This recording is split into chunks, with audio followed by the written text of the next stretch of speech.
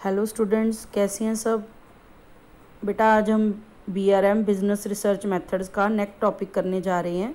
Fourth topic है आज जो हम कवर करने जा रहे हैं टाइप्स ऑफ़ रिसर्च तो types of research very important topic बेटा। लॉन्ग क्वेश्चन में तो आ ही सकता है शॉर्ट नोट बहुत सारे बन सकते हैं। डिस्क्रिप्टिव रिसर्च क्या होती है एक्सपेरिमेंटल क्या होती है, ठीक है? बेसिक फंडामेंटल रिसर्च क्या होती है, या इनमें डिफरेंसेस है जो आ जाते हैं तो important very important topic types of research तो फ़र्स्ट है आपका डिस्क्रिप्टिव रिसर्च टाइप्स में।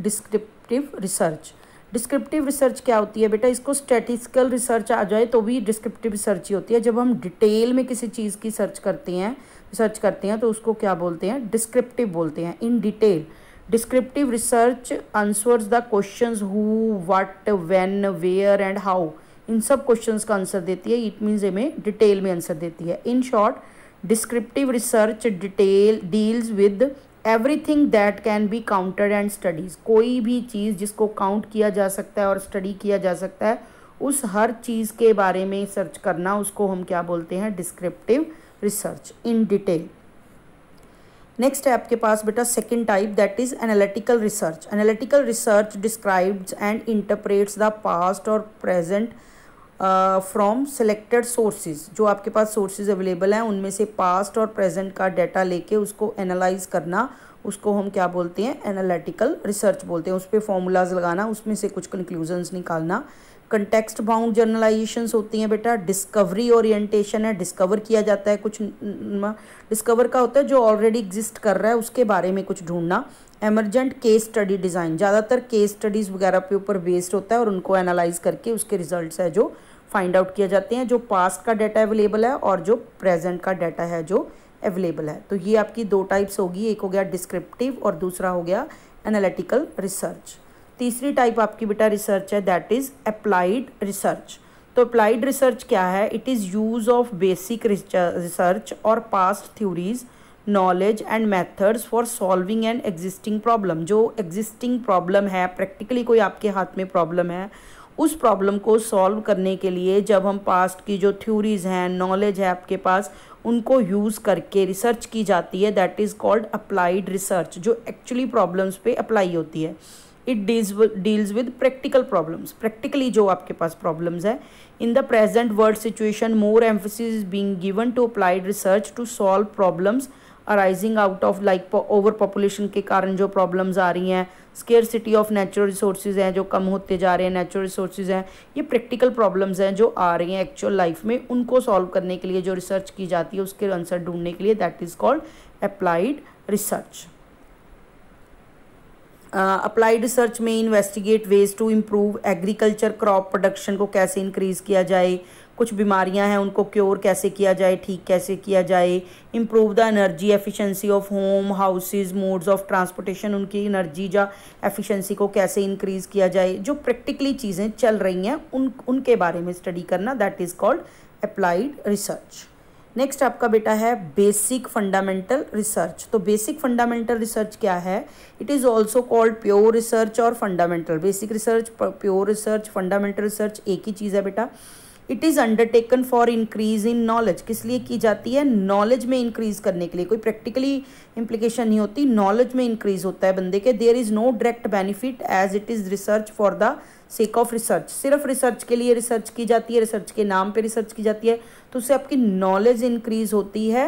बेसिक जो आपकी नॉलेज है, उसमें कुछ इंक्रीज होता है, लेकिन प्रैक्टिकली कोई उतना बेनिफिट नहीं होता। It is conducted to satisfy any curiosity जो आपके अंदर क्रियोसिटी है, उसको सेटिस्फाई करने के लिए की जाती है। जैसे वट मेक्स थिंग्स हैपन चीज़ें कैसे होती हैं वाई सोसाइटी चेंजेस सोसाइटी में चेंज कैसे आती है, क्यों आती है why society relation are in certain way society में रिलेशनशिप ऐसे क्यों हैं? तो ये जो है डायरेक्टली उनसे अवेलेबल है तो इसलिए आपकी सिर्फ़ नॉलेज को इंक्रीज करता है।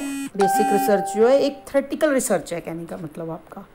जो बेसिक रिसर्च है that is a theoretical research next आपकी टाइप है बेटा दैट इज़ एक्सप्लोरेटरी रिसर्च तो एक्सप्लोरेटरी रिसर्च क्या है? जब आप कुछ नया एक्सप्लोर करना चाहती हैं, नया एक्सप्लोर करने, करना चाहती हैं that is when the purpose of research is to gain familiarity with the phenomena or acquire new insights into it in order to formulate a more precise problem or develop hypothesis जब आप explore करना चाहते हैं कुछ नया ढूंढना चाहते हैं तो उसके लिए आप फॉर्मुलेट करते हो this is called formulative research also exploratory research तो आप में हाइपोथेसिस अजम्पन्स डिज़ाइन करते हैं और उन अजम्पन्स को लगा के देखते हैं कि कैसे इनको जो अजम्पन्स हमारी हैं वो ठीक बैठी हैं या नहीं। तो दैट इज़ कॉल्ड एक्सप्लोरिटी आप कुछ नया एक्सप्लोर करना चाहते हैं।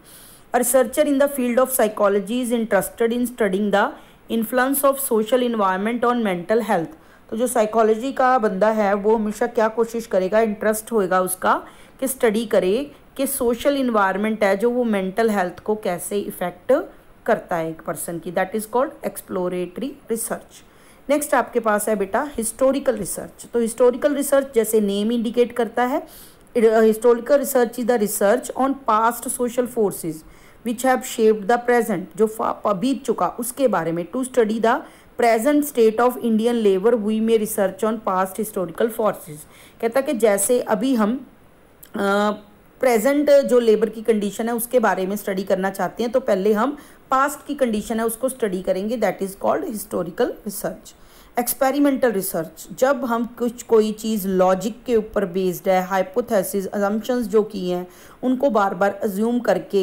जनरली जो हमारा एक्सपेरिमेंटल रिसर्च है वो फ़िज़िकल साइंसेज में होती है लेकिन सोशल साइंसेज में भी अप्लाई होती है। जैसे फ़िज़िकल साइंसेज लाइक इतने यूनिट आप इस चीज़ के डालो और दूसरा इतने यूनिट दूसरे केमिकल के डालो तो ये बन जाएगा वो फ़िज़िकल साइंसेज है। लेकिन जो एक्सपेरिमेंटल साइंस है वो सोशल uh, साइंसेज में भी यूज़ होती है एक्सपेरिमेंटल ड्रेस जैसे स्टैटिकल एंड मैथमेटिकल चूज़ करके टूल्स को यूज़ करके आप रिजल्ट्स है जो निकाल सकते हो। That like for example to investigate what is the effect of mineral content on water on plant growth तो कहता है इन्वेस्टिगेट करना कि जो मिनरल कंटेंट है, उनका वाटर में जो है, उनका प्लांट की ग्रोथ पे क्या इफ़ेक्ट पड़ता है? तो हम उसको एक्सपेरिमेंट करके देखेंगे बार बार थोड़ा पानी डाल के देखेंगे, कुछ पौधों को नहीं डाल के देखेंगे।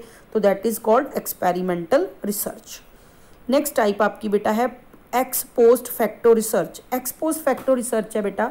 जो चीज़ हैपन हो चुकी, जो बीत चुका, जो हो चुका, उसके बारे में स्टडी करना कि ये क्यों हुआ, कैसे हुआ, क्या कारण थे उसको। उसको बोलते हैं ex post facto research that जैसे उसने बोला for example market failure of any company company market में फेल हो गई है तो वो डिज़ाइन स्टडी क्या करेगी?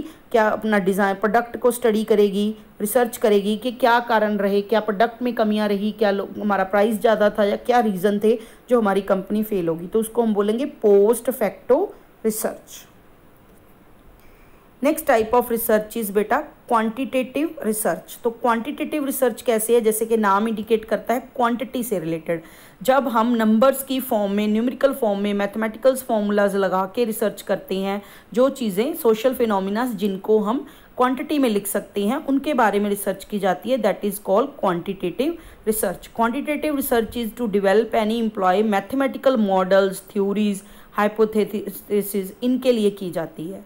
For example when we study the average height of students in a particular university और कॉलेज और class that is called quantitative research height of students के बारे में स्टडी करते हैं weight of student marks of student these are quantitative research second type next type है बेटा इसकी qualitative research qualitative research deal with phenomena that are difficult और impossible to quantify वो चीज़ें जिनको मैथमेटिकली क्वांटिटी की टर्म्स में हम लिख ही नहीं सकते उनके बारे में।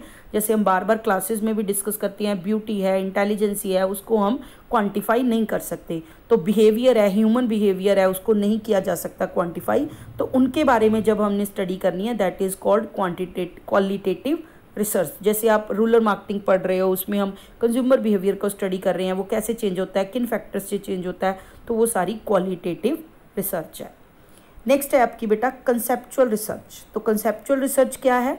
Conceptual framework is use in research to outline possible courses of action और to present a preferred approach to an idea जो आपके पास नया आइडिया है, उसके क्या अल्टरनेटिव हो सकते हैं? उसको कैसे अलग अलग तरीके से किया जा सकता है? तो एक कंसेप्ट एक आइडिया जो आपके माइंड में है, उसके बारे, उसको कैसे स्टडी किया जा सकता है? That is called conceptual research next है आपके पास बेटा empirical last one is empirical research empirical research is it is a way of gaining knowledge by means of direct observation और एक्सपीरियंस जब आप चीज़ों को ऑब्ज़र्व करके और अपने एक्सपीरियंस से जिस रिसर्च को करते हो that is called empirical research the record of one's direct observation क्या क्या आपने ऑब्ज़र्व किया किसी के बारे में या किसी चीज़ के बारे में और आपका एक्सपीरियंस क्या रहा? उनको जब हम क्वांटिफाई या क्वालिफाई करते हैं क्वांटिटी में कन्वर्ट करके या उसको क्वालिटेटिव टर्म्स में तो उसको क्या बोलते हैं हम? इम्पेरिकल रिसर्च बोलते हैं। ऑब्जर्वेशन और एक्सपीरियंस के ऊपर बेस्ड होती है। बेटा बाकी अदर टाइप ऑफ़ रिसर्च है जो हो सकती हैं लॉन्गनीच्यूड रिसर्च होती है, जो लंबे लंबे समय के लिए चलती हो, एक बार आप करते हो पूरी चलती रहती है, ठीक है? तो डिफरेंट टाइप है जो हो सकती हैं। बेसिकली आपकी ये ट्वेल्व टाइप्स हैं जो रिसर्च की हो सकती हैं। इसको अच्छे से स्टडी करना है बेटा। कोई डाउट हो तो आप पूछ सकते हो। तो ध्यान से पढ़िए बेटा। चलो मिलते हैं बेटा नेक्स्ट वीडियो में।